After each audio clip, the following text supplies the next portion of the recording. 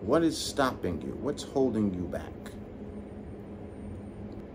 What is distracting you? That which distracts you takes you off of track. Words have meanings. If you're a man, number one distraction is women because men are physical creatures and we see a woman, if she if we find her attractive, she distracts us. It's a visual thing.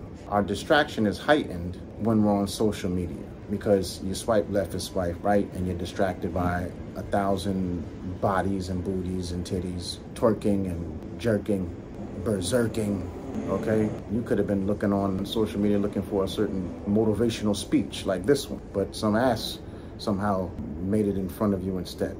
It's a distraction. Now you gotta regroup. Gonna go back and get your mind right. Distractions.